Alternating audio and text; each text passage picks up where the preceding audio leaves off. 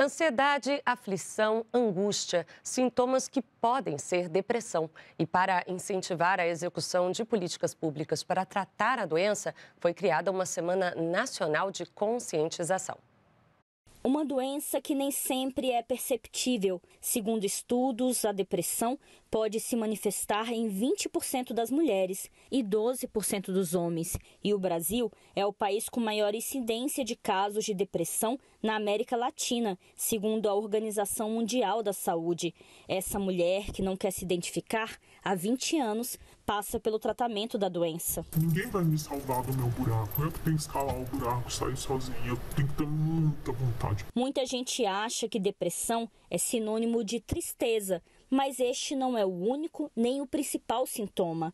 Os pacientes também costumam relatar falta de energia ou cansaço excessivo, além de irritabilidade, insônia ou muita sonolência e redução da libido, além da falta de concentração e memória. Alguns relatam sintomas físicos, como dores, taquicardia e sudorese, e é comum terem pensamentos suicidas recorrentes. O isolamento é bem importante, né? A pessoa acaba ficando muito quieta, sem amigos. O Sistema Único de Saúde oferece tratamento para a doença. Caso ela seja diagnosticada nas unidades de pronto atendimento, o paciente é encaminhado para a rede de atenção psicossocial, com tratamento oferecido nos CAPs, os Centros de Atenção Psicossocial. São 2.795 CAPs em todo o país. Entre 2019 e 2021, o SUS realizou quase 60 milhões de atendimentos.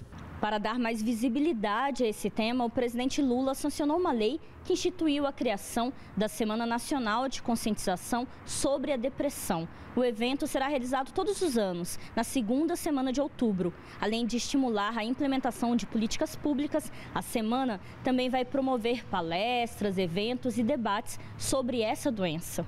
A gente pensar um pouco na, na, depressão e nas formas como ela se manifesta é fundamental para que a gente possa procurar ajuda, né? E que essa pessoa consiga sair de um sofrimento que é muito intenso e muitas vezes invalidado.